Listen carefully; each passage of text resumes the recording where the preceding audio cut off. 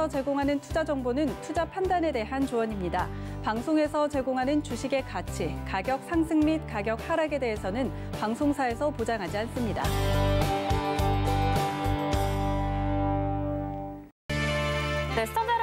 안녕하십니까. 마감인박 60분의 승부 시작합니다. 한시정입니다. 어제 지수 낙폭으로 인해서 걱정하셨던 분들 지금은 걱정 안 하셔도 될 것 같다는 생각이 듭니다. 오늘 거래소에서 분위기가 굉장히 좋습니다. 외국인과 기관의 순매수세에 장중 고점 높여가고 있는데요. 지수가 이제 2745포인트입니다. 이 흐름 잘 끌고 가줬으면 좋겠는데요. 코스닥도 930선까지 찍었던 그 전날만큼 강하진 않지만 그래도 어제의 낙폭은 축소해 가고 있는 모습입니다. 내일 선물 옵션 동시 만 기일인 만큼 이렇게 오르는 분위기에서도 불안한 분들 계실 것 같은데요. 저희 마감인박 60분의 승부와 함께 하시기 바랍니다. 어, 오늘 저희 문자 상담으로 스피드하게 종목 상담 진행을 합니다. 100원의 정보 이용료가 부과되는 샵 0082로 문자로 종목명 매수가 비중 보내주시면 이후에 저희가 종목 상담 도와드릴 테니까요. 지금부터 미리미리 보내주시고요. 금일 본 방송에서 제공해드리는 정보는 투자 판단에 대한 조언일 뿐 해당 종목의 가치와 수익률 보장하지 않는다는 점 참고하시기 바랍니다. 오늘 마감인박 60분의 승부요. 저희가 문자 상담으로 진행해 드린다라고 말씀드린 이유가요. 오늘 특별한 시간이 마련이 되어 있기 때문입니다. 이제 연말을 맞아서 여러분들 증시에 대한 전략도 필요하실 것 같고요. 2021년 다가오는 새해를 어떻게 대비를 해보면 좋을지 궁금하실 것 같은데요. 그런 전략들 꼭꼭 집어서 여러분들에게 알려주신다고 합니다. 지금부터 강의 두 분의 전문위원님이 도와주실 텐데요. 먼저 최충성 전문위원님의 강의 시작해 보도록 하겠습니다. 네, 안녕하세요. 서울경제 최충성 전문가입니다. 네, 일단 오늘 이렇게 좀 새롭게 시작을 하니까 조금 놀라신 분도 계실 텐데 일단 이번 주 토요일에 네, 주말에 일단 강연회 전에 어떻게 조금 진행을 하고 어떤 부분에 대해서 제가 좀 설명을 드리려고 하는지 간략하게 좀 포인트를 짚어드릴 테니까 뭐 관심 있게 한번 지켜보시고 토요일에 강연회에서도 일단 주말이기 때문에 뭐 코로나도 많이 확진이 되고 있고 하기 때문에 뭐 잘 참여를 해주셔서 뭐 도움도 좀 받아보셨으면 좋겠습니다. 어쨌든 지금 뭐 12월 이제 연말이죠. 연말인데 굉장히 우리는 이제 연말 분위기를 느끼는 것도 좋지만 어, 투자를 하는 사람들이기 때문에 일단 연말을 단순히 연말으로 보내는 것보다는 내년을 좀 대비하는 그런 전략으로 계속적으로 좀 삼으셨으면 좋겠다라고 해서 일단 다가오는 2021년을 좀 준비하자라는 제가 이제 타이틀 잡아서 일단 이번 주말에도 좀 말씀을 드리려고 합니다. 일단은 잘 체크해 보시면 좋을 것 같고 뭐 이런 부분들은 제가 방송이나 뭐 그런 것들 잘 통해서 이제 말씀을 드렸었는데 어 중간중간에 좀 짚어 드리고 관심 있게 우리가 봐야 되는 뭐 섹터군이나 종목군들 관련해서도 이제 제가 좀 언급을 드릴 거예요. 그런 부분들 조금 체크를 해 보시고 일단 내가 시장을 좀 어떻게 대응해야 될지 굉장히 뭐 지금 개별 종목장 주식을 오래 하셨던 분들은 좀 괜찮으실 수 있는데 주식을 처음 하셨거나 이러신 분들은 지금 시장 자체가 굉장히 좀 어려우실 수 있거든요. 그렇기 때문에 어, 어떻게 하면 좀 잘 준비를 하실 수 있고 편하게 조금 좋은 종목들을 체크하실 수 있을까 제가 팁을 드리도록 할 테니까 일단 잘 체크를 해보셨으면 좋겠습니다. 네, 일단 오늘 시장 옵션 만기일이 내일 예정이 되어 있기 때문에 다소 이제 조금 잔잔한 흐름을 좀 보이고 있는 모습입니다. 일단 계속해서 외국인들의 수급을 체크를 우리가 해봐야 될 것이고 일단 제가 계속적으로 말씀드리는 이 작은 흐름 자체 지금 뭐 코스피에서 코스닥으로 옮겨가는 이 흐름이 나올 것인가 아니면 계속해서 지금 움직이듯이 뭐 얘도 올라가고 얘도 올라가고 이렇게 될 것인가에 대해서 조금은 중점적으로 보셔야 됩니다. 이번 주 의미 있는 그러한 모습들이 굉장히 많이 나왔었거든요. 일단 외국인들의 그런 수급 월요일 장에는 외국인들 좀 매수를 했다가 어제는 좀 팔고 지수가 하락을 좀 하는 모습을 보였었는데 일단 오늘 같은 경우에는 외국인들이 선물까지 매수를 다 하면서 올매수를 진행을 하고 있습니다. 지금 자금이 계속 적으로 좀 교차가 되고 어느 정도는 조금 흘러가고 있는데 지금 당장은 코스피 종목들을 좀 보시는 것도 좋습니다만 이런 흐름 교차가 굉장히 옵션 만기일이 굉장히 중요할 거예요. 일단은 이 흐름을 내일까지 지켜보고 토요일에 제가 말씀드리는 뭐 하루 이틀 정도 갔다는 사실 뭐 수급이 완전히 옮겨갔다, 뭐 자금이 이동을 하고 외국인들이 코스닥 종목들로 지금 준비를 하고 있습니다 라고 확실하게 말씀드릴 수는 없겠지만 어느 정도 움직임은 보여줄 것이거든요. 일단은 그런 것들 제 토요일에 짚어드릴 테니까 체크를 해보시면 좋을 것 같고요. 일단 지금 시장 제가 이거는 월요일 방송에서도 말씀을 드렸지만 지금 시장 자체가 이런 것들을 보고 이제 상승을 계속적으로 하고 있습니다. 통화 유동성이나 뭐 재정 정책, 백신에 따른 경기 회복에 대한 기대감 단순한 이제 기대감 때문에 많이 상승을 하고 있는데 이런 기대감이 꺼졌을 때 어떻게 대응을 해야 할 것이냐에 대해서 조금 생각을 해보고 연구를 해보셔야 되고 그리고 섹터에 따른 종목 들을 잘 체크해 보실 필요가 있어요. 중요한 거는 이 옵션 만기일 단순히 뭐 기존에 우리가 경험했던 그런 만기일의 의미와는 조금 다르거든요.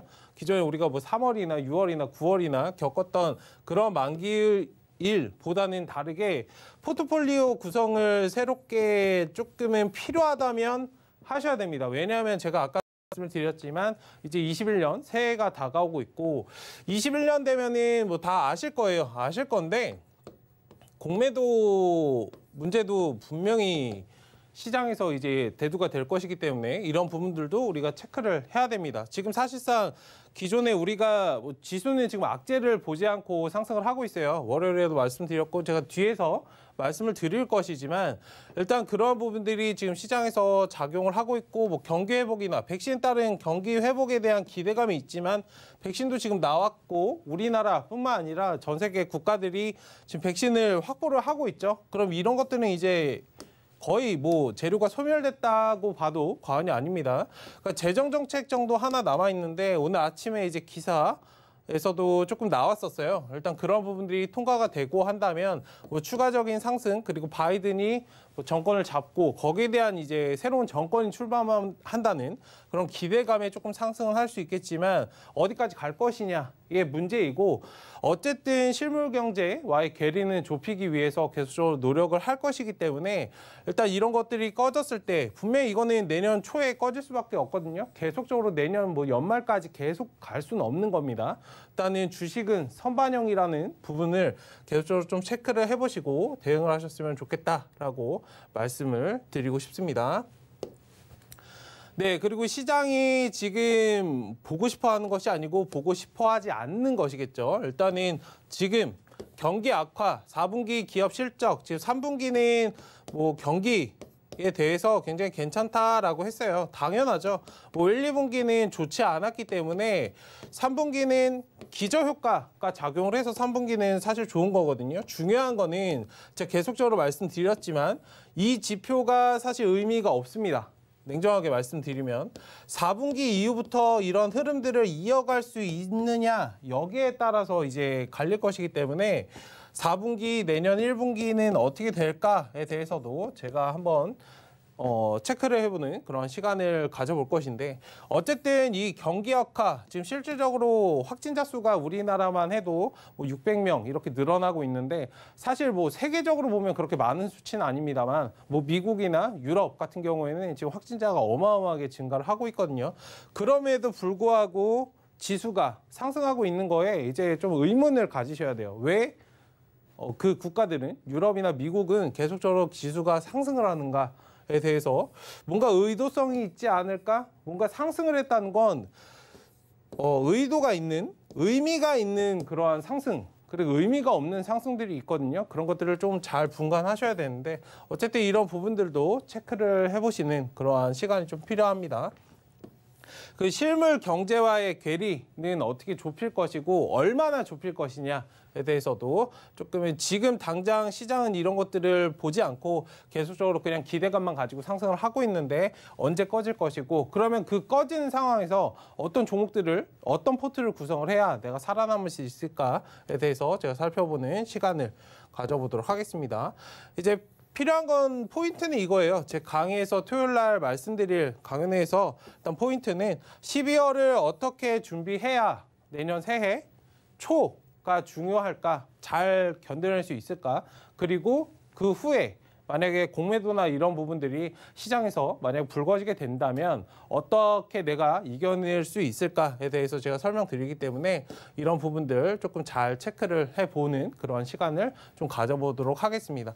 어쨌든 지금 뭐 연말이 아직 초이기 때문에 뭐 그런 부분들에 대해서 뭐 아직은 뭐 경각심을 가지지 못하시고 준비가 필요할까라고 생각하시는 분들 많으시겠지만 21년을 잘 초를 잘 어떻게 첫 단추를 잘 깨냐 따라서 그 해가 바뀔 수 있기 때문에 제가 그런 부분들 조금 잘 짚어보고 어떤 섹터군들 종목군들 을 보고 포트 구성은 어떻게 해야 되는지에 대해서 제가 말씀을 드릴 테니까 더 궁금하신 부분들 있으시면 네, 이번 토요일에 강연회에서 네, 그런 부분들 설명드릴 테니까 많이 참여해 주시면 감사하겠습니다. 네, 지금까지 최충성 위원님의 강의 들어봤습니다. 아무래도 내일 옵션 만기일이니까 이 분위기가 바뀔 수 있을 것 같다라는 생각들을 가지고 계신 분들 계실 것 같은데 시장이 바라보고 싶어 하는 것 그리고 시장이 보고 싶어 하지 않는 것에 대해서 간략하게 말씀을 해주셨고요. 그렇게 하기 위해서는 12월을 잘 계획을 해야 된다. 그래야 내년이 편안할 수 있다. 이렇게 말씀해 주셨습니다. 여기에 대해서 추가적으로 자세한 내용 궁금하신 분들은요. 지금 하단에 노란 톡방이 나가고 있습니다. 서울경제 TV 언택트 강연에 이렇게 노란톡 검색창에 입력을 하시거나요. 아니면 옆에 나가고 있는 QR코드 찍고 지금 스마트폰으로 찍고 입장을 하시면 이쪽에서 또 정보 받아보실 수가 있으니까요. 여기로 받아보시면 될 것 같습니다. 이어서는요. 이지한 전문위원님이요. 강의해 주시거든요. 이어서 자세히 들어보도록 하겠습니다. 네, 안녕하세요. 이재현입니다. 아, 아, 강의는 이제 제가 계속 어, 좀 이어오고 있는데 오늘은 어, 토요일 이제 언택트 강연회를 앞두고 어, 지금 이제 시장의 위치에 대해서 아, 조금 말씀을 드리려고 합니다. 아, 아마 이제 이 방송을 보시는 분들은 어, 제가 이제 워낙 이 부분에 대해서 말씀을 많이 드렸기 때문에 어, 똑같은 얘기 반복일 수 있는데 그래도 어, 지금 시장에서 가장 필요한 얘기는 지금 시장의 위치를 어, 오판하면 안 된다는 얘기를 어, 계속해서 강조를 좀 드리고 싶습니다. 우리가 어, 결론부터 제가 먼저 말씀을 드리면 지금은 역사적 고점, 기술적 고점을 논할 때가 아니고 시장이 올라가면 올라간 어디까지 올라갈지 내일까지 올라갈지 1년 뒤까지 올라갈지 모르지만 결국에는 그 고점까지 우리가 어, 고점을 예상하지 말고 어, 따라가는 전략이 필요합니다. 어, 지금 보시는 차트는 이제 제가 계속해서 말씀을 좀 드렸던 부분인데요.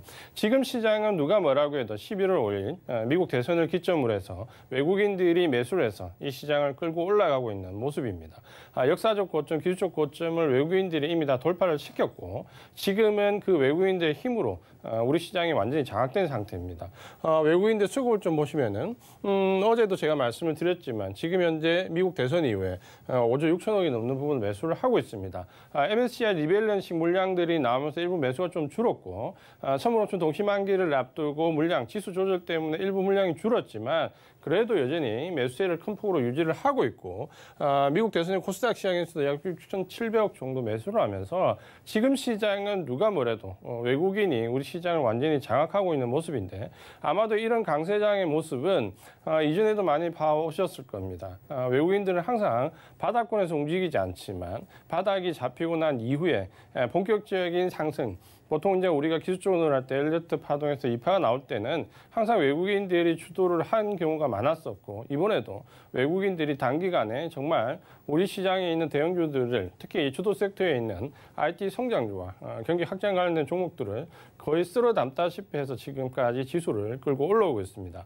음, 항상 지금 보면 우리 시장에서 지금 논의되고 있는 부분이 뭐냐면 어, 지난 11월 말에 MSCI 리밸런싱이 나올 때 시장의 고점이 형성될 것이다라고 어, 1차 예측이 좀 나왔고 두 번째는 어, 지금 현재 바로 이번 주죠. 내일 선물옵션 동시만기가 있기 때문에 선물옵션 동시만기가 들어오면 또 고점이 형성되지 않을까라는 또 고점론이 나오고 있었습니다. 근데 어제도 제가 어, 설경TV에서 말씀을 좀 드렸지만 오히려 선물 옵션 동시 만기를 앞두고 조정이 나오면 상당히 시점이 좋다라는 얘기를 드렸습니다. 아, 배당락 근처에 조정을 줄 건지 선물 옵션 동시 만기 전으로 조정을 줄 건지라고 말씀을 드렸는데 만약에 그 전에 어제 같은 조정이 나온다면 어, 제 조정은 좀 아프겠지만 실제로 우리 시장으로 보면 상당히 좋은 흐름이 나올 수 있다는 부분을 말씀을 드렸는데 결국 지금 현재 강세장에서 외국인들의 선택은 어, 배당락 뒤쪽이 아니라 어, 선물 옵션 동시 만기를 전후로 해서 미리 선조정을 주고 지수 조정을 주고 어, 선물 여러발까지 다 한 다음에 음, 다시 또 지수를 끌어올릴 수 있는 여지를 어, 굉장히 많이 만들어놨다 이렇게 좀 보시면 될 것 같고요. 외국인들의 이런 수급적인 변화가 어, 큰 줄기에서 전체적인 시장에서 바뀌지 않는다면은 어, 지금은 주가가 상당한 기간 동안 상승할 수 있다 이런 부분들을 어, 꼭 인지를 좀 하셔야 됩니다. 어, 외국인들 섹터별 수급 제가 계속 강조를 드리고 있지만 지금 보시면은 IT 쪽에서 굉장히 큰 폭의 매수세, 화학 쪽에서 큰 폭의 매수세. 자, 이 부분은 LG와 아까 IT 소재이기 때문에 결국 IT 쪽의 소재, 어, IT 쪽의 매수세가 거의 한 7, 80% 집중적으로 어, 이루어지고 있습니다. 여기에 최근 이제 제약바이오 쪽에 음, 일부 우량한 종목들, 어, 실적이 좋거나 바이오시밀러 혹은 어, 코로나19 치료제 관련돼서 실제 치료제가 나오는 회사들 어, 위주로 어, 외국인들 선별적인 매수가 들어오면서 이쪽 섹터에도 어, 외국인들 수급이 좀 늘어나고 있습니다. 어, 그리고 이제 최근에 이제 특징 중에 하나가 바로 이제 기계업종이나 운송 장비업종, 철강업종에 에, 금액이 크지는 않지만 점차 점차 외국인들 portion이 좀 늘어나는 걸 볼 수 있는데요. 어, 이쪽이 아직 성장주, 제약 성장주 쪽이라면 어, 기계, 운송 장비, 철강 쪽은 어, 경기 확장과 관련되어 있는 종목들인데 이제 외국인들은 백신 투약 시점을 기점으로 해서 점점 점점 이쪽 경기 확장과 관련된 종목들 쪽으로 어, 매기가 옮겨오고 있다. 결국에는 우리 개인 투자자분들 어느 쪽이냐의 선택의 문제가 아니라 양쪽을 다 어, 가지고 가야 되는 전략이고 어, 그 시장에 적절한 어, 비율을 어, 맞추는 전략이 어, 중요하다. 어, 이렇게 보시는 게 맞을 것 같습니다. 어, 이런 부분들을 우리가 음, 계속해서 좀 인지를 하고 있다면 아마도 음, 외국인들이 실제적으로 어떤 종목을 그런 매수했냐 부분도 어, 반드시 확인할 필요가 있는데요. 뭐 이 종목들은 누가 뭐 확인을 하지 않아도 아, 당연히 외국인이 매수했다는 느낌을 받을 수 있습니다. 왜? 아, 굉장히 큰 폭의 급등을 했기 때문에 어, 삼성전자가 어제 살짝 조정을 줬는데 제가 어, 어제 밤 방송에서 말씀을 드렸죠. 삼성전자나 현대차나 아, 이런 대형주가 어, 어저께 급락을 했던 이유 한 8천억 정도의 외국인들의 매도세가 나왔는데 어, 단네 종목의 전체 6,500억 매도 물량이 몰려 있는 이유에 대해서 충분히 말씀을 드렸습니다. 아, 그 개별 종목 삼성전자라는 종목을 끌어내리기보다는 어, 지수를 끌어내리기 위한 지수 코스피 200과 코스닥 150 지수와 연관되어 있는 종목들 위주로 매도세를 집중적으로 내보냈고 이런 부분은 제가 말씀드린 대로 내일이나 모레 어, 하루 이틀 상간에 바로 다 회복될 부분이다라는 부분을 어, 말씀을 드렸죠. 오늘 이제 그런 부분들이 시장에서 반영이 되고 있는데 삼성전자는 지금 보시는 것처럼 23% 24% 넘는 급등을 했고요. 어, LG학도 이 기간 동안 어, 물적 분화, 인적 분화 이슈에도 불구하고 25% 상승을 했습니다. 어, 셀트리온은 어, 어제 급락을 좀 미뤘지만 내렸지만 49% 정도 상승했는데 아, 이쪽은 이제 단기 헤지 펀드 물량들이 치고 빠지는 부분이기 때문에 어, 지속적 상승을 좀 보기는 어렵겠죠. 그러니까 짧은 관점을 좀 보셔야 되고 그 외에 우리 개인 투자가분들이 굉장히 많이 몰려 있는 인버스 의 반대쪽에 있는 KODEX를 17% 정도 수익을 내면서 아, 공격적으로 매수를 하고 있습니다. 아, 삼성 SDI도 역시 매수를 했고요. 음, 특이한 부분 이제 아모레 퍼시픽을 제가 한 3주 전부터 계속 말씀 좀 드렸는데 아, 소비재 관련된 부분에서 가장 빠르게 매수세가 올라오고 있는 부분이 아모레 퍼시픽 역시 급등했고요. 아, 카카오는 음, 알고 계신 것처럼 일정 부분 공매도 한매와 연관되어 있기 때문에 아, 실질적인 매수보다는 아, 공매도 한매 물량이다라고 보시면 어, 외국인들이 매수한 종목들은 역시 오늘도 어, 상당히 에, 큰 폭으로 좀 가고 있습니다. 아마도 지금 현재 시점에서 우리 개인 투자가분들이 매수한 종목들은 무엇일까라는 부분을 에, 거꾸로 본다면 아마도 이 종목들이 가지고 있는 에, 효과를 아마 충분히 느끼실 수 어, 있다라고 말씀 좀 드리겠고요. 어, 최근에 이런 삼성전자를 먼저, 어, 먼저 좀 보시면 우리가 어, 가장 하고 있는 일반적인 오류가 뭐냐면 결국에는 삼성전자 고점을 어딘가라는 예단을 한다는 겁니다. 결국 지금 현재 주가에서 삼성전자가 6만 3천 원이라는 직전 고점을 어, 큰 폭으로 뛰어넘고 있는데 어, 대부분의 기술적 분석, 역사적 고점 어, 그리고 펀더멘탈적인 에, 오류 이런 부분들 때문에 에, 삼성전자 6만 3천 원 고점론이 상당히 힘을 얻었는데 지금 결과는 삼성전자가 이미 7만 원을 훌쩍 넘어서서 아, 이제 8만 원을 향해서 달리고 있다는 부분이죠. 근데 비단 이런 종목뿐만이 아니라 지금 현재 지수 관련돼서 외국인의 매수가 유입되는 종목들은 상당히 큰 폭으로 오르고 있는데 에, 문제는 이제 이런 부분에 동참할 수 있는 개인들이 상당히 많지 않다라는 부분이죠. 물론 에, 자금의 여력이나 여러 가지 부분에 의해서 이런 섹터에 동참을 못했다고 하더라도 적어도 코스닥 쪽에 집중을 하시는 분들도 관련되어 있는 종목들 위주로 어, 코스닥에서 어떤 저점을 기다리거나 아, 순환매에 동참하는 모습을 보이셔야 되는데 가장 아쉬운 부분들은 여전히 우리 개인 투자가분들께서 집중하는 종목들은 아, 상위 종목들을 보면 아, 코덱스 인버스라든지 혹은 코로나19 관련되어 있는 치료제, 아, 장비 소모품 쪽으로 아, 상당한 매수세가 유지가 되고 있습니다. 자, 이런 부분들은 역시 시장이 아직도 어, 고점을 논할 자리가 아니고 어, 계속해서 중간중간 기술적인 눌림이 나오겠지만 아, 그런 눌림에 음, 현혹되기보다는 어, 시장을 좀 더 멀리 보고 길게 보고 끌고 가는 전략이 필요하다. 아, 이런 부분들을 말씀 좀 드리고 싶고요. 어, 그런 점에서 지금 우리가 좀 생각해야 될 부분이 뭐가 있냐면 바로 제가 좀 전에 말씀드린 그 논리, 역사적 고점이나 고점을 논하지 말라는 부분입니다. 뭐냐면 우리가 말- 지금까지 생각했던 부분은 어, 가장 빠지기 쉬운 오류가 세 가지가 있었습니다. 하나는 코스피 지수가 2,600을 넘어간다는 이 역사적 고점. 지난 금융위기 이후에 에, 고점이 형성되었고 거의 10년이 넘는 기간 동안 계속해서 박스권을 형성했기 때문에 여기에 갇혀 있는 마인드를 어, 벗어나지 못하면 지금 시장이 역사적 고점을 뚫고 올라가는 부분에 대한 해석을 할 수가 없습니다. 가장 많이 지금 어, 오류를 보이고 있는 바로 이 역사적 고점인데 결국 이 역사적 고점이라는 거는 대부분의 우리가 지난 시기를 보면 특정한 사건, 우리가 예상하지 못했던 아주 큰 사건이 발생하게 되면 이 역사적 고점이 깨지게 됩니다. 어, 굉장히 아이러니한 얘기지만, 아이러니하게 말씀드리지만, 결국 지금 현재 이 역사적 고점을 넘어갈 수 있는 가장 큰 원동력은 코로나19라는 어, 예상하지 못했던 큰 폭의 하락이 우리 시장을 끌어내렸기 때문에 새로운 손바뀜이 일어나고 새로운 수급적 바로 역사적 고점을 넘길 수 있는 하나의 원동력이 된다는 거죠. 그래서 항상 이런 조정과 하락은 새로운 상승을 할 수 있는 어, 원동력이 된다. 그런 부분에서 지금은 역사적 고점을 넘어갈 수 있는 에, 충분한 여건이 마련되어 있다. 이 부분을 좀 말씀을 좀 드리고 싶고요. 어, 그 다음에 이제 우리가 올해서 어, 볼수 있는 부분이 바로 어, 기술적 분석에서의 고점입니다. 어, 우리가 잘 알고 있는 것처럼 대부분 이제 우리 개인 투자자분들도 어, 차트를 봅니다. 그렇죠? 어, 공부를 하시고 있고 차트를 보고 있고 여러 가지 매체나 유튜브 경제 방송을 통해서 어, 많은 지식들을 습득하고 있습니다. 그러다 보니까 어, 지금은 웬만한 음, 사람들보다 어, 기술 분석을 할수 있는 분들이 더 많습니다. 근데 이런 분들이 빠지는 어, 오류가 있습니다. 뭡니까? 아, 바로 기술적 분석에 대한 어, 오류입니다.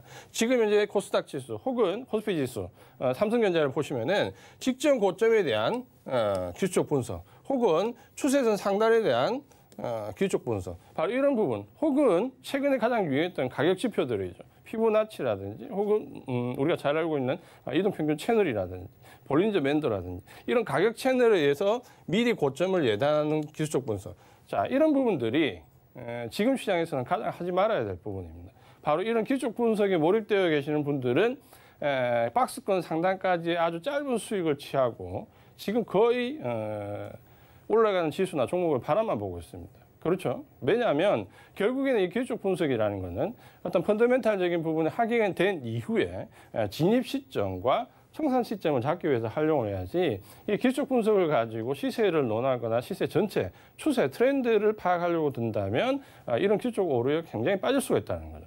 그러다 보니까 아, 그런 분들이 굉장히 시장에 대한 설명을 잘 할 수는 있겠지만 아, 주식 시장에서 얻어가는 수익은 5% 10% 아, 이런 정도의 비율밖에 얻지 못한다는 거죠. 지금 시장은 어, 우리가 어, 제 얘기가 아니고 CNN에 나온 얘기를 그대로 말씀을 드리면 이런 거죠. 지난 100년 동안 공급된 유동성보다 금융위기 이후에 한 12년 동안 공급된 유동성이 거의 10배 됩니다. 거의 100배 가까이 된다는 얘기도 있는데 어, 거기 CNN에서는 10배라고 표현했죠. 그리고 어, 금융위기 이후에 지금까지 공급된 유동성이 작년부터 지금까지 공급된 1년 동안 유동성보다 작다라고 얘기했죠. 그러면 우리는 지금 지난 100년간에 뭡니까? 유동성에서 최고의 유동성 시장을 겪고 있다는 거예요. 그러니까 이런 건 우리가 지금까지 저도 겪어보지 못했고 여기 계시는 시청자분들도 겪어보지 못한 새로운 시장이다라는 거죠. 그러니까 그런 부분들을 인지를 하지 않으면 아, 우리가 지난 10년 동안 이 주식시장에서 갇혀 지냈던 짧은 수익을 취하고 빠지고 짧은 수익을 취하고 빠지는 이런 반복적인 매매에 몰입될 수 있다는 거죠. 근데 지금 현재 시장은 그런 5% 10%를 어, 수익을 취하기 위한 시장이 아니라 이미 50% 100%갈 수 있는 여력을 보여주고 있는데 어쩌면은 우리 스스로 어, 그런 수익을 지금 제한시키고 있다라는. 그러다 보니까 8월, 9월, 10월 동안 조정받을 때 어디가 주도 섹지냐라는 부분을 굉장히 많이 생각하셨는데 결국 그 당시에 가장 많이 흔들고 어렵게 했던 우리를 힘들게 했던 IT 섹터가 지금은 어, 삼성전자를 필두로 삼성전기 예, 비롯해서 삼성 SDI, LGR 손댈 수 없을 만큼 이미 고점을 형성하고 있습니다.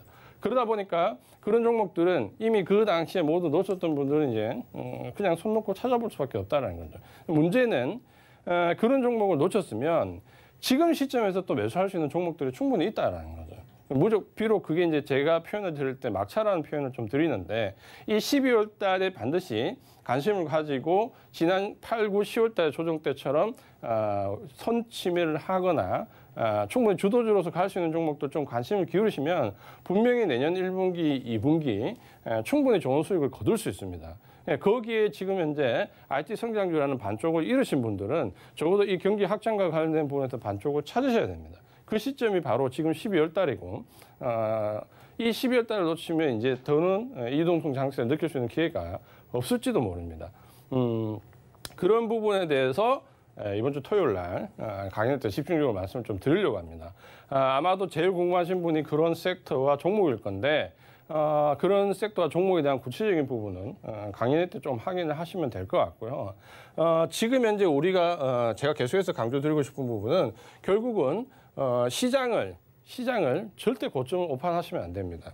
아, 여기 한번 볼게요.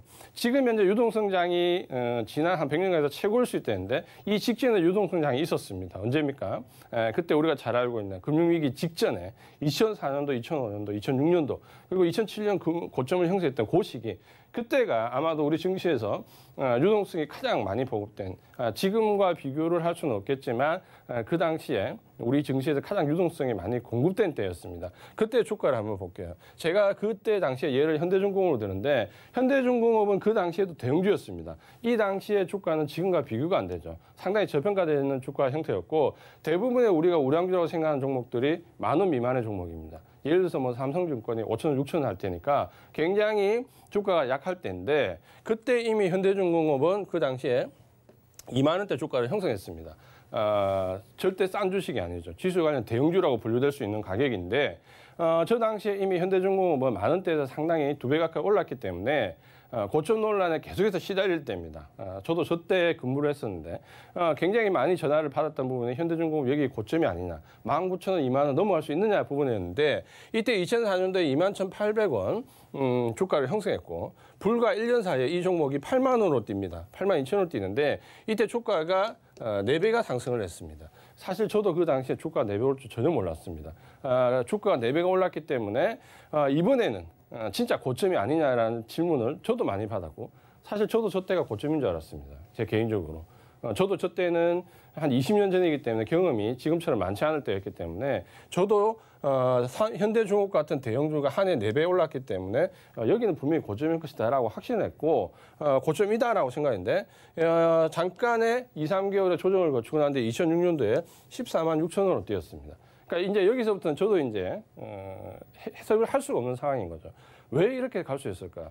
아, 만 원짜리가 2만 원 된 거에 8만 원 된 게 그 부분도 해석하기가 힘든데 어, 다시 2006년도 어, 2006년도에 와서 14만 6천 원이 됐습니다. 그러면 2003년도에 계산을 한 3년 상관을 했을 때는 주가가 10배가 뛰었습니다.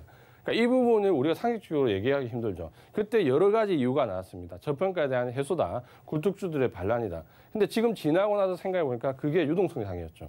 그리고 유동성장의 특징이었는데 우리 시장은 그 당시에 유동성장이라는 걸 처음 어떻게 보면 제대로 맛본 시기였죠.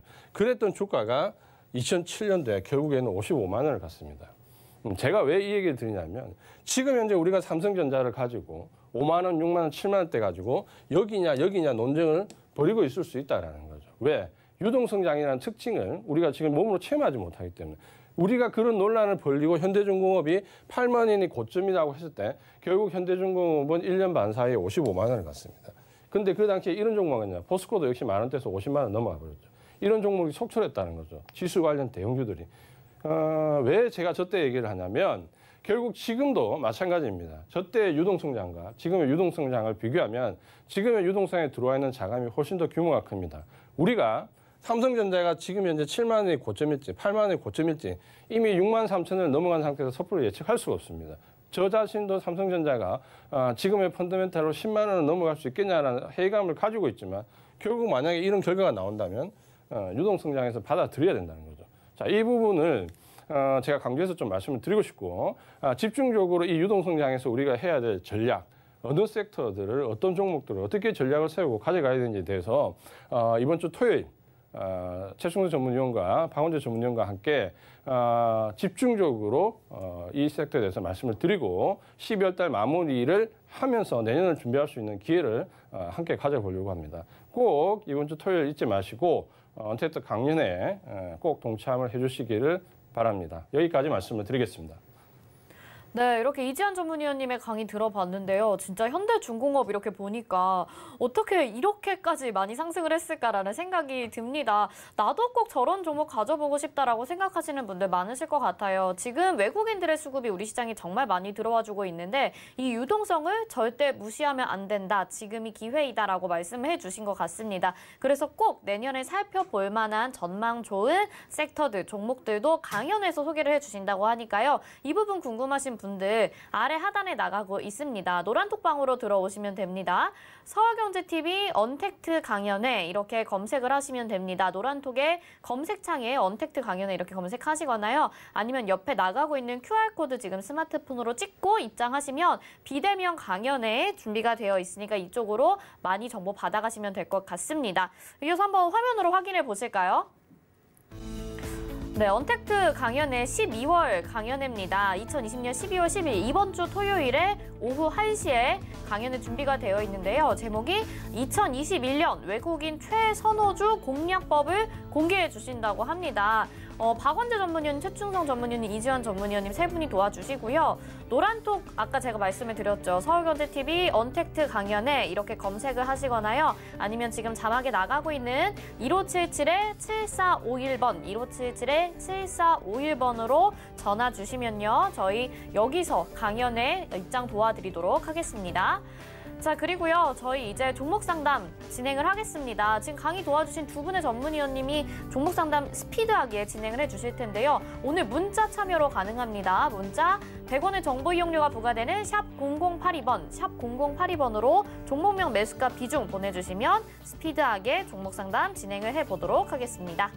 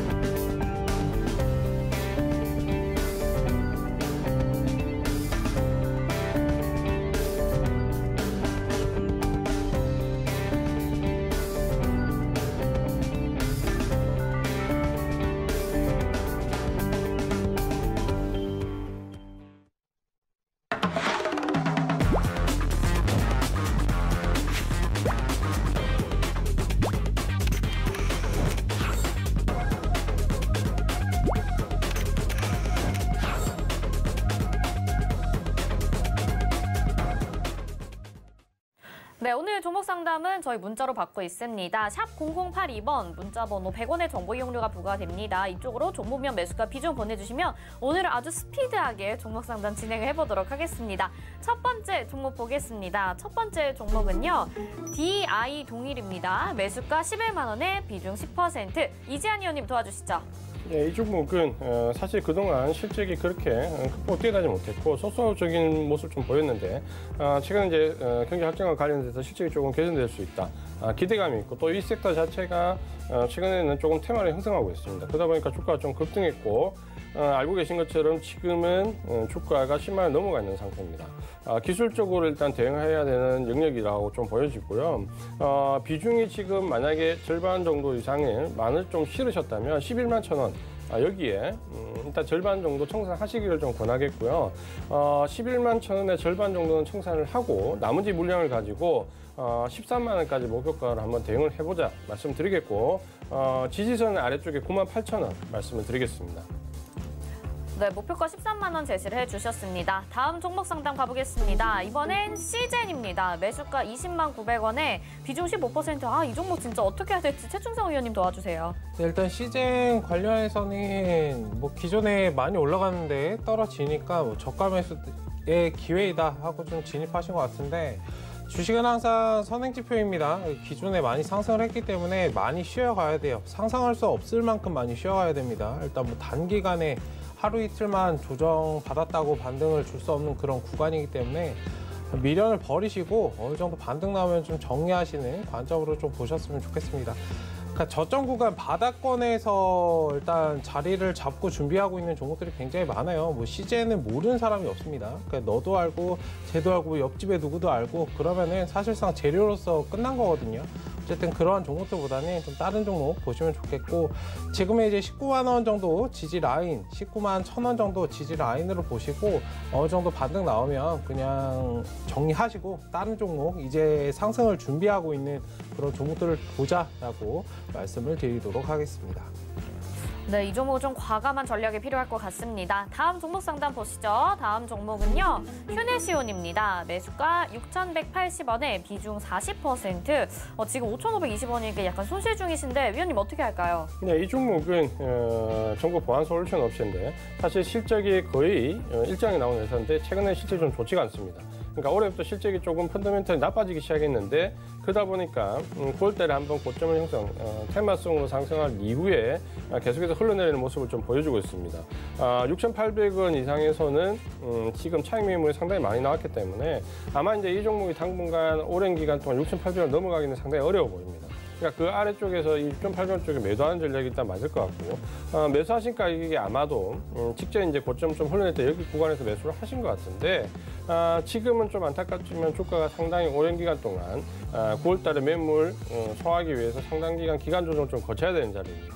아, 아마도 지금 장이 좋은데도 불구하고 이런 종목을 들고 어, 장기간 행보하는 것보다는 어, 목표가 가기 기다리시기보다는 어, 본전 근처에서 종목을 교체하시는 전략을 말씀 좀 드리겠습니다. 아래쪽에 지지선은 4,900원 말씀을 드리겠고 목표 가격은 6,800원 말씀을 드리겠습니다. 네, 휴네시온도 상담 도와드렸고요. 다음 종목 상담으로 바로 가보겠습니다. 다음 종목은 아모레 G입니다. 매수가 53,900원에 비중 10%인데 어, 이 종목은 특별히 매도 타이밍 알고 싶다고 문자 보내주셨거든요. 최충성 의원님, 이번 어떻게 할까요? 네, 일단 아모레지 같은 경우는 기존에 이제 소비재, 화장품 관련주 좀 많이 쉬었다가 일단 고개를 좀 트는 모습입니다. 뭐 아모레 같은 경우에는 거의 15년도에 고점 달성을 하고 계속적으로 쉬다가 이제 좀 자리를 잡고 우상향으로 돌까 말까 하는 구간인데 일단은 조금 중기적인 관점에서 보시면 좋겠습니다. 또 이번 연도는 뭐 코로나 때문에 좀 직격탄을 많이 맞아서 매출이 좀 좋지 않았지만 21년도, 22년도 추정치는 굉장히 좀 양호하게 기존의 이제 매출로 거의 돌아가고 있는 상황이기 때문에 중기적인 관점으로 좀 보시면 좋겠고요. 단기적으로 이제 목표 구간은 한 6만 원 정도 삼으시고 대응을 하자라고 말씀을 드리도록 하겠습니다. 뭐 조금 더 끌어가신다면 매물 구간에서는 기계적으로 어느 정도 좀 수익은 챙기시고 나머지는 추세가 양호하다면 요즘에 이제 대형주가 굉장히 좀 강세를 보이고 있기 때문에 뭐 중간중간 흐름에 따라서 좀 움직이실 필요가 있다라고 말씀을 드리고 싶어요. 뭐 6만 원짜리가 돌파가 되면 나머지 전략을 좀 끌어가시는 전략으로 보시면 되고 만약에 상승이 강하지 않고 조금 지수 상단에 부딪혀서 눌린다라고 하면은 어느 정도 정리하셨다가 다시 눌림목 구간에서 매수 매도 반복을 좀 유동적으로 하시면 어, 충분히 좋은 종목이다라고 말씀드리도록 하겠습니다. 네, 아모레 주의 살펴드렸고요. 저희 지금 이제 장이 마감이 됐고 지수 정리가 됐습니다. 한번 확인해 보시죠. 먼저 코스피부터 보겠습니다. 코스피 와 오늘 2% 넘게 상승을 했습니다. 2,755포인트에 마감이 됐습니다. 아마 고점이 아닐까 싶은데 코스닥도 확인해 보시죠. 코스닥 0.77% 올랐습니다. 913.81포인트에 마감이 됐습니다. 원달러 환율 보시죠. 어제 원달러 환율이 소폭 반등을 했었는데 오늘 다시 내려갑니다. 어, 60전 내렸습니다. 1084원 80전에 마감이 됐습니다. 오늘 장 이렇게 마감이 됐고요. 이어서 종목 상담 계속 가보겠습니다.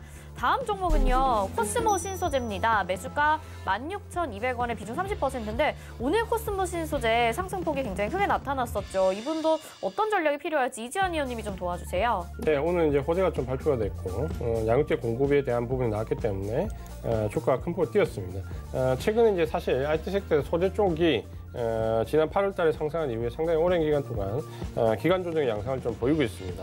어, 코스모 신소재가 오늘 이제 16,000원 직전 이제 어, 매물대를 뚫고 지금 상승을 했는데 어, 만약에 이제 단기적인 관점으로 접근하신 분이라면 18,000원 정도에 내일 어, 형성하신 게 맞고요. 만약에 이제 중장기인 관점으로 좀 접근을 하셨다면은 어, 2만 원 이상 어, 잡으시고 어, 좀 롱홀딩하는 전략을 말씀을 드리겠습니다. 아래쪽에 지지선은 어, 15,000원 어, 말씀을 드리겠습니다.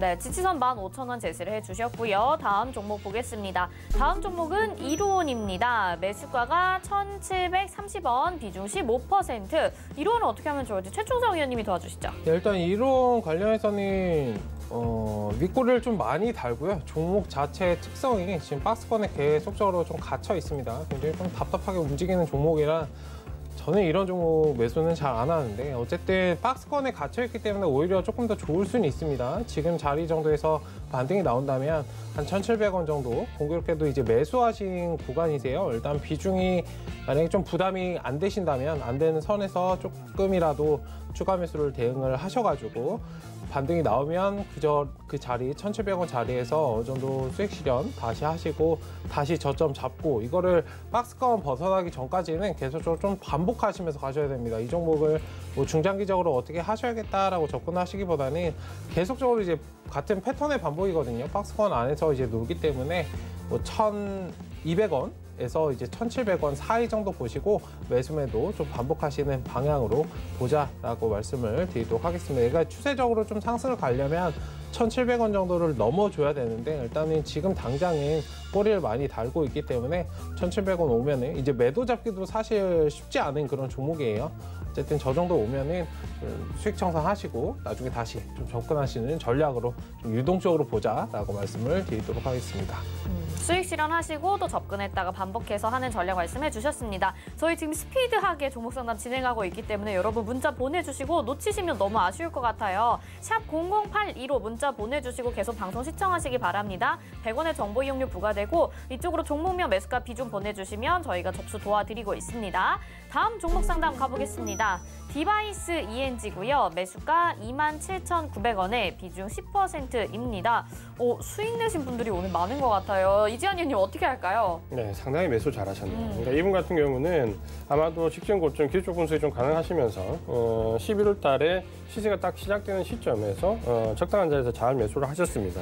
최근에 어, 이 종목은 이제 어, 반도체나 디스플레이 관련된 장비 종목인데 어, 디스플레이나 반도체 IT 관련된 종목 중에서 소재나 부분보다 장비 관련된 종목들이 지금 상승 탄력이 굉장히 크게 나오고 있습니다. 이쪽에 한번 관심을 가져볼 만하고 음, 매수를 잘 하셨기 때문에 어, 지금 현재 익절 어, 마지노선을 36,000원 잡으시고요. 여기 만약에 무너지면 일단 다 익절하시는 걸로 하시고 만약에 여기 무너지지 않으면 지금 시세가 살아있기 때문에 계속해서 어, 수익을 좀 극대화하는 전략 아, 1차적인 목표가 4만 어, 3천 원까지 가져가 보자 이렇게 말씀을 드리겠습니다.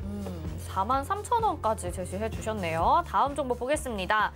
어, 다음 종목은요. 도화 엔지니어링입니다. 매수가 8천 원에 비중 50%입니다. 비중이 꽤 큰 것 같은데 최충성 의원님 어떻게 할까요? 네, 일단은 도어 엔지니어링 관련해서는 뭐 태양광 수주 뭐 이렇게 해서 조금 영업이익도 꾸준하게 좀 추정치가 늘어나고 있고 매해 이제 100억 원 정도 늘어날 예정으로 이제 보이고 있는데 일단 추정치이기 때문에 잘 한번 틈틈이 좀 체크를 하시면 좋을 것 같고 영업이 익이 꾸준히 찍힌다는 면에서는 굉장히 괜찮다라고 볼 수 있습니다. 지금 차트도 뭐 거의 바닥권이기 때문에 끌어가시는 전략 유효하다라고 말씀을 드리고 싶고요. 1차적인 목표 구간이 한 9천 원 정도 목표로 세우시고 대응을 하시면 좋을 것 같은데 일단 뭐 중기적인 관점에서는 한 만 원짜리도 충분히 가질 수 있다. 다만 비중이 네, 너무 많으시기 때문에 어느 정도 수익 실현을 하시면서 계속 매수매도 반복적으로 대응을 하시고 부담이 되실 만한 비중은 좀 담지 않으셨으면 좋겠어요. 일단은 그렇게 좀 대응하면서 지금 유동적으로 좀 반복하셔야 되는 그런 구간이다. 지금은 8,350원 저희가 매물 구간이기 때문에 딱 부딪히고 지금 좀 쉬고 있거든요. 만약에 저 자리를 단기간에 좀 강하게 반등을 주지 못한다면 하단으로 살짝은 돌아갈 수 있기 때문에 유동적으로 좀 반복하자라고 말씀드리도록 하겠습니다.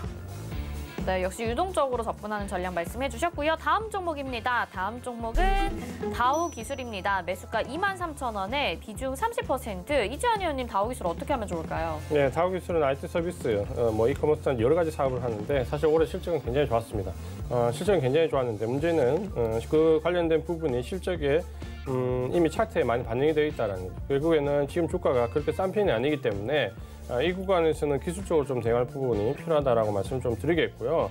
아, 목표 가격은 음, 24,700원 어, 말씀드리겠고 아래쪽에 지지선은 24,450원 말씀을 드리겠습니다. 네, 다우 기술도 살펴드렸습니다. 다음 종목 보겠습니다. 다음 종목은요. 코스모 화학입니다. 매수가 9,650원에 비중 20%. 와, 너무 부럽습니다. 최충성 의원님 대응 어떻게 할까요? 네, 일단 코스모 신소재, 뭐 코스모 화학, 뭐 포스코 케미칼 관련해서 오늘 강세를 좀 보이는 모습이었는데 일단 화학도 굉장히 좀 강하게 상승을 했습니다. 상한가에 달성을 했기 때문에 추가적으로 상승 나올 텐데 일단은 단기적으로는 한 13,000원 정도 저 자리를 돌파해 주는가를 지켜보시면 좋고요. 일단 15,000원 정도까지는 살짝 보이고 있는데 중간중간 조금 흐름에 따라서 움직이실 필요가 있습니다. 1차적으로는 13,000원을 좀 강하게 뚫어 올려주는지 아니면 차트가 자리를 잡아주고 추가적으로 상승을 하려고 하는지 살짝 쉬었다 가려고 하는지 일단은 지금 수익권이시기 때문에 어느 정도 여유가 있으실 거예요. 그렇기 때문에 조금의 흐름 지켜보시고 만약에 5일선 이렇게 타고 가다가 좀 이탈이 되는 흐름이 나온다 그러면 정리하셨다가 다시 눌린 구간 접근하시고 반복적으로 대응하시면 괜찮겠다라고 말씀드리도록 하겠습니다. 음, 반복적인 대응 전략 말씀해 주셨습니다. 성공 투자하시고요. 다음 종목 보겠습니다. 다음 종목은요.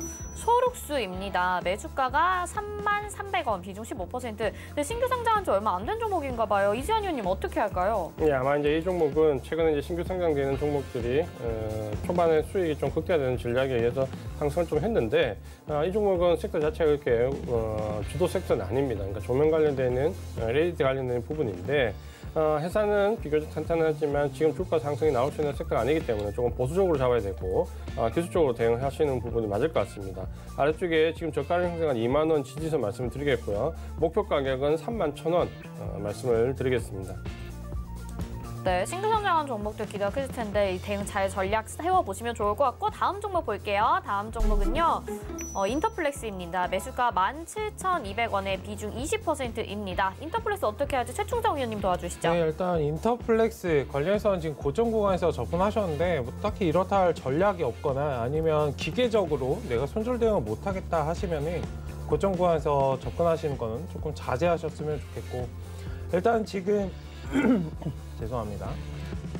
상승이 나오고 지금 좀 쉬어가고 있는 구간입니다. 일단 상승 후에 눌렸다가 어차피 이제 시간적으로만 좀 투자해 주시면 다시 상승해 줄 거예요. 다만 지금은 좀 답답하실 수 있는 구간이기 때문에 기회비용도 한번 생각을 해보시고 지금 16,000원짜리 만약에 지지를 해주지 못하면 하단으로 조금 더 눌려갈 가능성이 있습니다. 그렇기 때문에 지금은 좀 흐름을 지켜보시면서 대응을 하시되 16,000원 정도가 이탈이 됐을 때는 한 14,000원, 15,000원 저 자리까지 한번 터치를 했다가 그 다음에 돌아서 이제 상승을 할 수 있거든요. 만약에 조금 힘드신다. 라고 생각이 드시면 16,000원 정도 일단 비중을 어느 정도 축소하셨다가 재접근하시는 그런 방향으로 좀 보자 라고 말씀드리도록 하겠습니다. 네, 저희 이렇게 종목 상담 스피드하게 준비를 해드렸는데 여러분들 많은 도움 받으셨, 받으셨길 바라겠고요. 저희 두 분의 위원님은 여기서 보내드리도록 하겠습니다. 이지한 위원님, 최춘상 위원님 고맙습니다.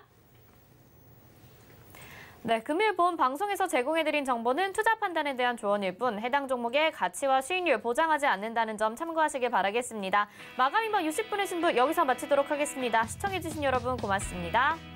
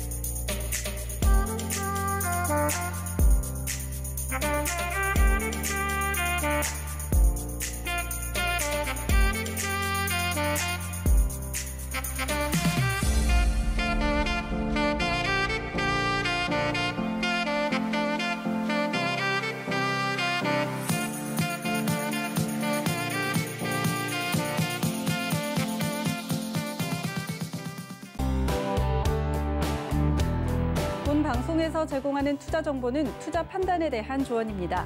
방송에서 제공하는 주식의 가치, 가격 상승 및 가격 하락에 대해서는 방송사에서 보장하지 않습니다.